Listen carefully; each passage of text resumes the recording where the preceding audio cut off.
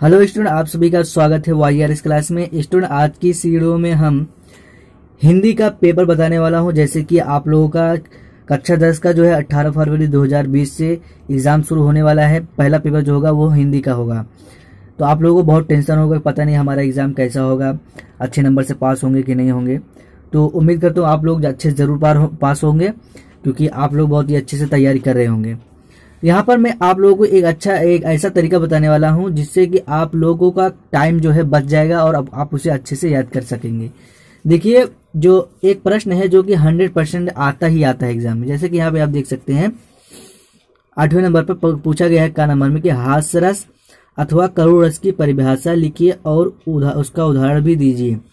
और खा नंबर पूछा गया रूपक अथवा उपमा अलंकार की परिभाषा और उसका उदाहरण लिखिए।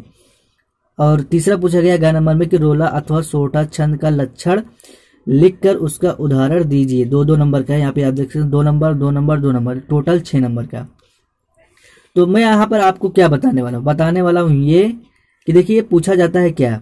पूछा जाता है कि हास्यरस अथवा करोड़ रस मतलब या तो आप हास्यरस की परिभाषा लिखें, या तो करोड़ रस की परिभाषा। मतलब दो पूछा जाता है, दोनों से दोनों में से केवल एक का ही लिखना रहता है। तो मैं यहाँ पे आज इस ये बताने वाला हूँ। देखिए, आप लोग दो मत याद करिए। एग्ज़ाम में आपसे दोनों पूछा जाता है, आप लोग दो मत याद करिए, केवल एक ही याद करिए। एक ही याद करेंगे, आपका टाइम बचेगा। आप वो जो टाइम बचेगा, आप दूसरे विषय का प्रश्न याद कर सकते हैं।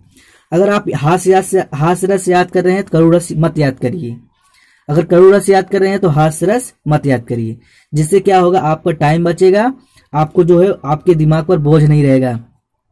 तो ये बताने का हमारा ये मकसद है, जिससे कि आपका कम समय में ज़्यादा नंबर पा सकेंगे। हाथ से रस लिखेंगे, तब भी आपको दो नंबर मिलेगा।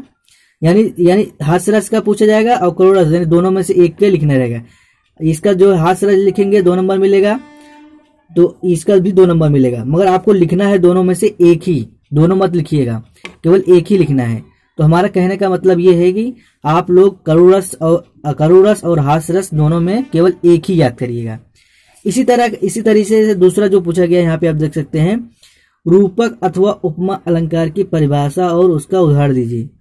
तो रूपक और उपमा, पूछा क्या गया है, दूसरा पूछा गया है कि रूपक, पूछा गया है पहला और पूछा गया है उपमा।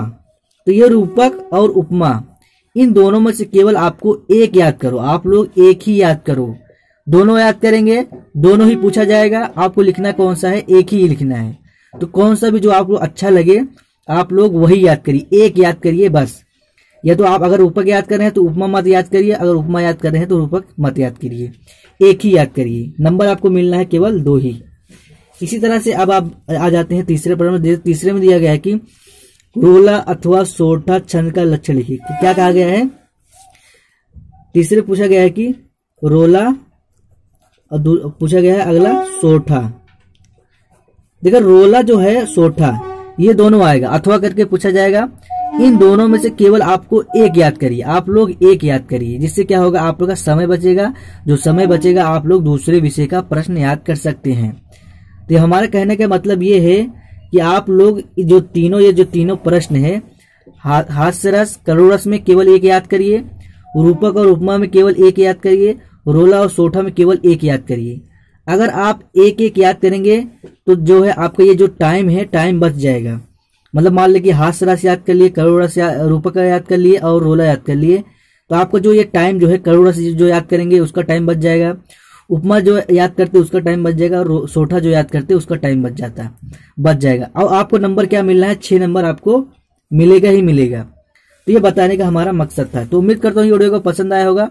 वीडियो को पसंद आया वीडियो को लाइक कर दें, और चैनल को अभी तक सब्सक्राइब नहीं किया तो प्लीज़ चैनल को सब्सक्राइब कर लेना। मिलते अगली वीडियो में, तब तक के लिए थैंक यू